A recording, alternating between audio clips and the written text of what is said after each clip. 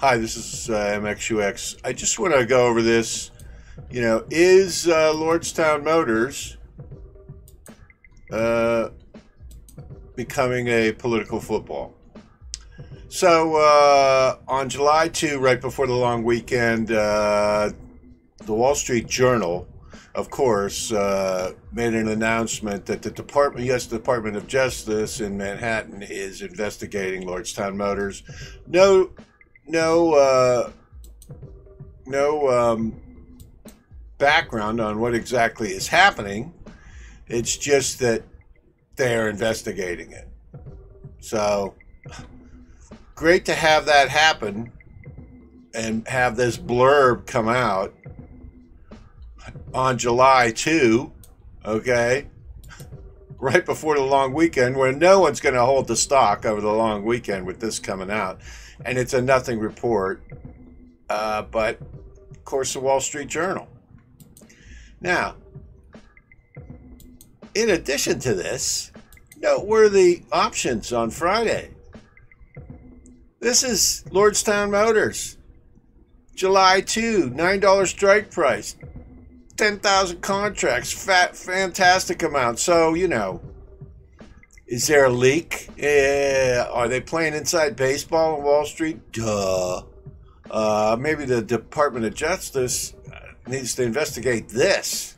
I mean, anyway, this is just seems to me to be such a setup uh, and a way to uh, take this stock price down going into the holiday weekend. It's so obvious, and uh, you know who leaked it. That's what I want to know. Now, I am going to assume this is over the uh, the orders, okay? The you know the misstatements about orders from Steve Burns. You know, well, they're not pending. They're confirmed. You know, we all been through this. I don't think there's a there there. I think they're really parsing things out, and there's no intent to sell. I just want to make one thing clear. Steve Burns is the largest stockholder in this company. He didn't sell out, so he didn't pump and dump, okay? To best of my knowledge. So now here is this is the president of Lordstown Motors, uh, and uh, Schmidt, right here, June 15th, totally backing up what uh, Burns said. We have enough orders for production of 21 and 22 binding orders that were committed here in the last two weeks. These fleets are not going to wait around to buy these trucks. This is basically what Burns said. I mean, you know, they shut him up and they put a retraction on this because they're under invest they're under the boot of the SEC and the and the DOJ now. But both of these this guy's a professional. You think he's going to make this up? Really? Are you kidding me? 21 and 2 years of production, he's going to fabricate that? It's ridiculous. Anyway, uh, the, the, the point is, this is what the DOJ. Why don't they, like I say right here, why don't they just let them launch and see if they have the orders or not? And then if there's no orders, then they got an investigation. If they got orders, the whole thing's moot. I don't understand it. They're driving the stock down. I mean, it looks to me like Wall Street and big business has twisted some arms at the federal government, and they're they're taking this whole thing to the next level. And you know, I got Jack Ma Alibaba down here. You know, Jack Ma was uh, removed uh, by the CCP from, well, not removed, but retired from Alibaba. And you know, American business, uh, you know, they, you know, the the press were commenting on how terrible. We're doing the same thing to Steve Burns. Okay, in my opinion. I mean, uh, uh, it's ridiculous. Anyway, moving on from this. So, okay, everything conveniently launched, uh, said released at the exact right time to damage the stock the most, put options in place. Steve Schmidt has confirmed the orders. Why don't they just let the. Okay, we've been through this before. Now, this is uh, Tailosive, uh, he just uh, put this out. Uh, Elon Musk, and I'm going to pause his video. I don't want to rip him off here. I just wanted to. He's got the tweet here what we've all seen of we're adding rear wheel steering to the Cybertruck. All right. And by the way, this is a great channel. I watch it. Uh, he's got he's a very good uh, reporter, and I do like very much what he does. Anyway, I'm just uh, stealing this tweet from him. I encourage you to check this out for all your um, Tesla news. He's great. Anyway, they're going to have rear wheel steering. What did I say about independent rear suspension? I've been saying this right along. I saw pictures of the uh, Cybertruck with a solid rear axle. I couldn't attribute them to anyone or any date. I don't know if they're real or not. But the point is, this is a 20 foot long truck, and it, under these conventional drive methods, when you have the axles, you have the CV joints, you have the the drive shafts, and so forth, it limits the way how far uh, the wheels can turn mechanically because they have to make that mechanical connection with the motor, which is inside, and the wheels are on the outside. Okay, and this is this Cybertruck is 20 feet long. They have to have more maneuverability to back this thing into a charger or whatever. It won't fit in a normal garage. But the point is, I think they also are doing this so they can put a solid rear axle in this truck. And uh, I just want to say all you guys that ordered a cheap Cybertruck, I don't think you're going to get it for a long time. This is going to increase. This is going to be a massive increase in production costs. They're going to have to re-engineer that. They're, probably going to put a solid axle in. They're going to have all these steering components uh, for the rear motor version. They're going to have to have drive shafts, so on and so forth, CV joints.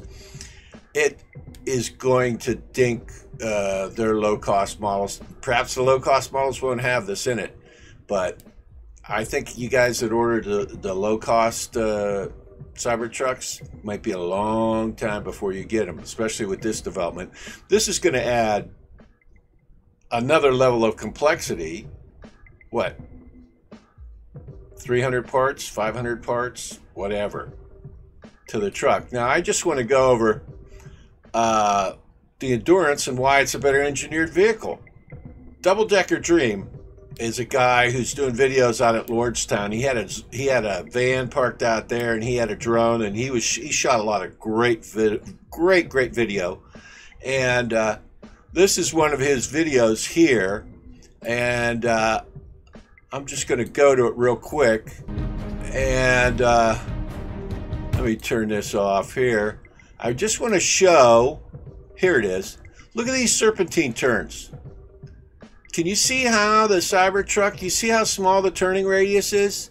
That's because, look at this. This is because, and they aren't even trying here. This is because the, uh, I'm going to shut that off now. Uh, check out Double Decker Dream. Very good. Uh, that's because the motors are in the wheels. There aren't uh, CV joints and universal joints constricting the movement of the wheels, those wheels can turn more. The front wheels can turn, the steering wheels can turn more. When you're in the Cybertruck, when they've got all this mechanical apparatus connected to the wheels, it limits how much they can turn. That's one reason. Wait till they put the torque vectoring on the Endurance, it will even be more agile. So, all and it has a solid rear axle already. It's just a better engineered vehicle. I'm sorry. I like uh, Tesla. I'm a Tesla fan, but I'm just saying, as pickup trucks go, I think Tesla is a whole nother uh, type of vehicle. It's a whole new class of vehicle. I don't believe it's a pickup truck. I think the Endurance is the best engineered electric pickup truck, the only one right now. Uh, Rivian, I just want to just give an update on Rivian. This is the Ford backed.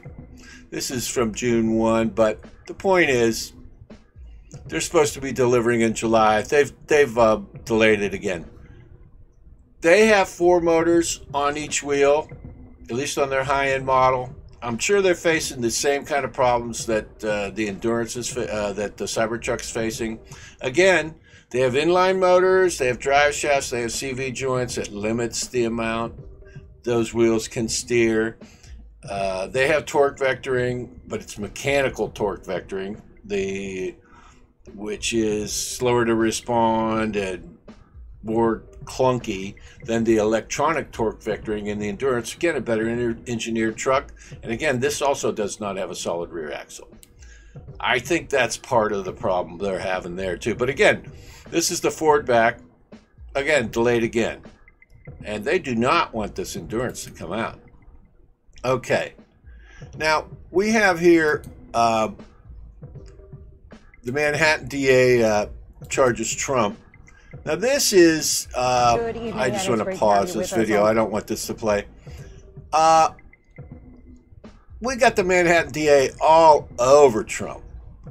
Uh, evidently, he avoided some uh, federal charges because of um, being president. I'm not political. My political views are off the spectrum. I think we should be uh, releasing uh, information on UFO technology and putting it into electric vehicles. That's where I'm at. So I'm off the spectrum. Anyway, the point is the Manhattan DA is all over Trump. They're trying to flip the CFO. They want to get him again. The feds uh, were looking into this, so it's uh, get Shorty, get get Trump. They're after him in New York City. Uh, the political machine, I think, in America is after Trump. Um, seems like they want to cripple any future political aspirations he may have. Be that as it may, again, I don't have a dog in this fight. This is not a political uh, channel, but this is what's coming out of Manhattan. Wall Street Journal's out of Manhattan. These stock, I mean, here's the thing. This is a review of the Lordstown, in, uh, I mean, the, excuse me, workhorse truck. This is the Endurance. This is the Endurance before it was the Endurance. This is at Workhorse. I'm just making a point here. This is from 2017. The review is from 2017. Steve Burns was working on on the workhorse long before. I mean, uh, the point I'm making here is this was in development long before Donald Trump ran for president, became president, or anything else. Okay. Now, the, where where Donald Trump did get involved is again, and this is May 2019 he jawboned. Uh, General Motors shut down this Lordstown plant, and evidently Trump got on the phone and got Mary Barra and told her whatever, and uh, got him to uh, sell this plant. Trump was deeply involved. Uh, you see, this is from Trump. Blah blah blah. Great news for Ohio. Uh, Donald Trump. This is uh, May 8, 2019. Okay, and so Trump had his fingerprints all over Lordstown, the Lordstown plant to workhorse. Okay, so Donald Trump was all over this. Uh, new, newly formed entity led by Steve Burns. So he's taken the, uh, see, electric pickup truck likely to be the extended range pickup in two, so 2016. So the point is, and it was in development long before that. Burns had this going way before any of this happened. And I think it's a very interesting story how Trump got involved in this, why Trump got involved in this, how Workhorse got involved in this. Did Trump see a blurb on TV about this plant closing and decide to do something? Is there some relationship? I have done background work on Steve Burns. I found absolutely no political commentary from him whatsoever I don't I don't believe he's political. Maybe someone can find that. I don't believe he's connected in any way to the Trump organization.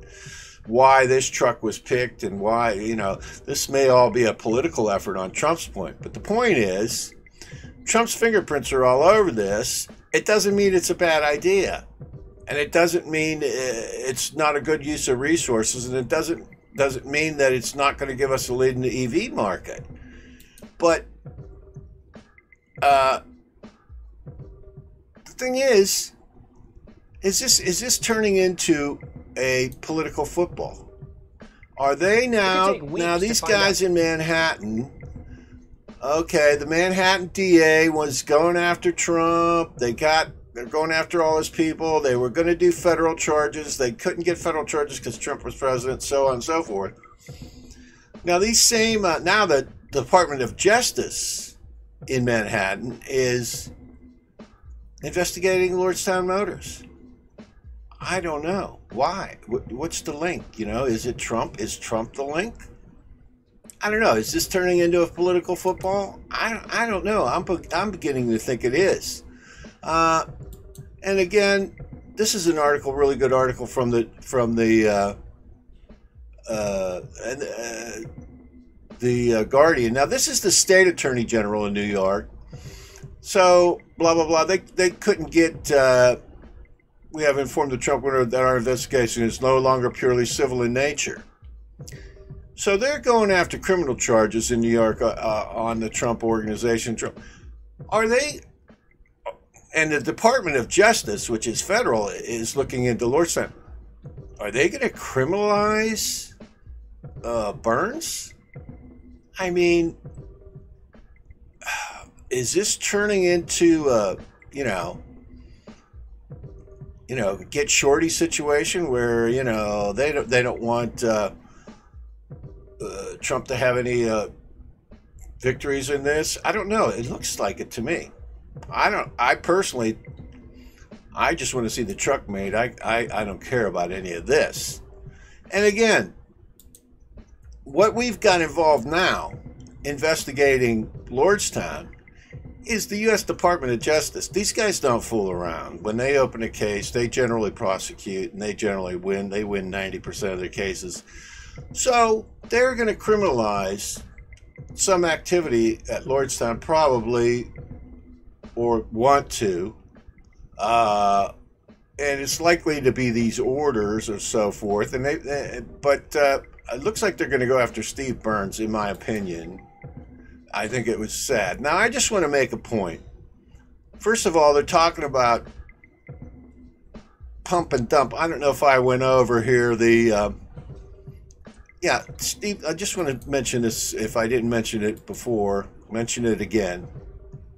Steve Burns totally reiterated what, uh, I mean, the president, uh, Schmidt, reiterated exactly what Burns said. You know, evidently they don't want to let them make the trucks because they don't want to be proven wrong. I don't know. I don't know if this is true or not. But anyway, the point is, there seem to be a lot of uh, similarities here. Now, I just want to go over uh, at the final statement on this. Um, the insider selling. Now, I did a thing uh, in a couple videos ago about the insider selling uh, that took place at Lordstown Motors. These guys, you know, the top executives there, you got to realize they took a high risk position. Sure, they got paid, but they got families, they got kids in college, they got homes to pay for. When this uh, the postal contract did not go through for Workhorse. This was a big blow, I think, to both Ride and Workhorse stocks because the companies are so closely linked. Workhorse owns 10% of Ride. And uh, I'm sure that the Workhorse vehicles were going to be, uh, the postal vehicles were going to be built at Lordstown. And when that deal didn't go through, and I think that had a lot to do with Lordstown bringing up the uh, high top fan, when that didn't go through, uh, it reverberated uh, throughout everything. And uh, I think a lot, this was my rationale for a lot of the insiders that sold. Because they, you know, like I said, they got to they got things to pay for. They're insiders. They did it publicly. It was all above board, but I believe that was the motivation. I don't think there was any pump and dump scheme over the sales figures or anything else. I think, in my opinion, but I just wanted to reiterate on this. Uh, not only did the insiders sell, Cathie Woods, ARK Invest, 1.5 million. I don't even think this is the total amount she sold. They bought so much workhorse. They bought it all the way up, all the way up. And I think that um, you can see here uh, where they're at. Workhorse right here but it was in several of her funds. And when uh, they did not get the postal contract, Cathie Woods sold everything in two days. Massive loss. So wasn't just insiders that sold, it was outsiders that sold on that news. I mean, you know, you can investigate it. These are the sorts. I don't have access to all the insider sales and everything. I don't have that capability. In my opinion, if somebody has a better explanation, they can uh, uh, put it in the comments. But I would just like to add on to this that uh, at the same time these guys were selling this and all this was happening, the board of directors gave Steve Burns a massive gift of stock that uh, actually made him the majority holder in the company, and I don't believe he has sold that stock. Uh, after that, they dismissed him. But you know, again, this statement over sales, which is, you know, is this Jack Ma all over again? Is this turning super political? I don't know. You guys, uh, you can let me know in the comments what you think. I think it's turning into a political football. I think it's damned the torpedoes at Lordstown Motors. I do believe that Schmidt is going to drive, uh, hit the home run like Babe Ruth, and they are going to get the trunk uh, the truck off in September, uh, no matter what. And um, I think that uh, this is turning into a political. It's becoming political, in my opinion uh, or there's a political taint to it. Let's put it that way. And um, I don't know. I think if they if they allow this to come to fruition, this production, I think Steve Burns is probably going to be true proven to have told the truth or very much the truth, very nearly the whole truth. Perhaps you know. As I mentioned in one of my videos, you know, there's a distribution under a curve, there's a right tail, there's a left tail. Of course, some of the sales aren't going to come through. But anyway, that's my two cents. Uh, I'll put a close on this video. Let me know what you think. Uh, I think it's turning into a political football. I think Steve Burns is becoming Jack Ma, and Lordstown Motors is becoming Alibaba. What do you think? I think it's going to be, I think uh, the President Schmidt and the uh, temporary CEO uh, are going to make this happen, and I think this truck is truck is going to launch. And I don't I don't know. It doesn't look like Rivian is going to make it. So I do believe it's still going to be the first truck. I think it's the best EV. I think it's going to give us a, a, a leg up on the entire world. And we're going to be able to export this truck everywhere, all over the world, because it's going to be the, the best technology uh, electric pickup truck in the world and the first one. I really believe that. I think they're going to get it off. Let's see what happens with all this political stuff. I don't know how this ever became a political issue. All right, I'm going to close this video out. Thanks for watching. I hope you guys liked the video. Hi, everybody. This is MXUX. I am just uh, closing out this video. Just want you to know, I think uh, Lordstown is going to do production, do or die. I think Schmidt's going to get everything done, the president. I think they have everything they need to actually get this truck out the door. I think it's better technology than the Cybertruck and the Rivian and the Ford F-150. And I think if it ever gets made, and I do think it will get made, I think, damn the torpedoes, they're going to make this truck and get it out. And I think the proof is going to be in the pudding at that point. Uh, I do think this is starting to get political, and uh, I think Tim Ryan, the congressman, ought to get involved. But in any case, this is a high risk uh, investment, guys. It could, could result in catastrophic losses. So you've got to be uh, mindful of that if you're investing. I hope you like the video. Thanks a lot for watching.